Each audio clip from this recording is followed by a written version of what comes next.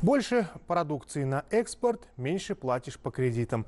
Такие меры стимулирования обозначены в постановлении президента по углублению реформ и расширению экспортного потенциала текстильной промышленности, в соответствии с которым те, кто с 1 апреля этого года вплоть до 2021 года включительно доведет поставки за рубеж до 80% от произведенного, не будет уплачивать проценты с кредитных займов.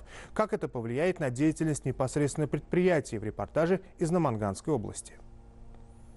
На начальном этапе текстильное предприятие в Чустском районе начало свою деятельность со штатом в 50 человек. Сегодня здесь трудоустроено 15 раз больше специалистов. За последний период экспортирована продукции на 60 миллионов долларов. Самое главное, 100% готовых трикотажных изделий поставляется за рубеж. Исходя из конъюнктуры рынка, требуется постоянная модернизация конструкций швейных и трикотажных изделий и в целом для высокого уровня качественных показателей. Эти аспекты находятся в центре внимания специалистов компании и потребности клиентов полностью удовлетворены.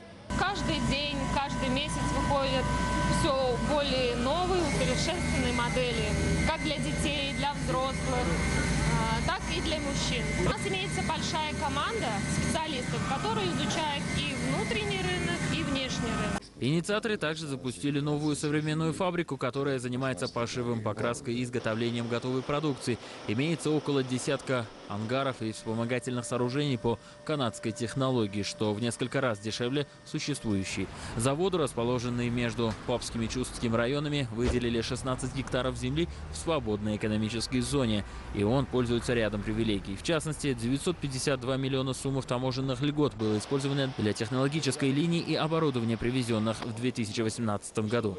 На первом этапе данное предприятие шьет, красит и превращает 10 тонн материи в полуготовую продукцию. На втором этапе этот показатель достигает 20 тонн и производится уже готовая продукция. Ткацкая фабрика длиной 172 и шириной 18 метров функционирует в полном объеме. Здание также инновационное. В частности, эти огни не являются лампами. Они представляют собой набор простых стекол на крыше, и несложно представить, какая идет экономия. В новое предприятие было вложено кредитов на 3 миллиона долларов и 2 миллиона долларов собственных средств. Вскоре число работников и экспортный потенциал удвоится.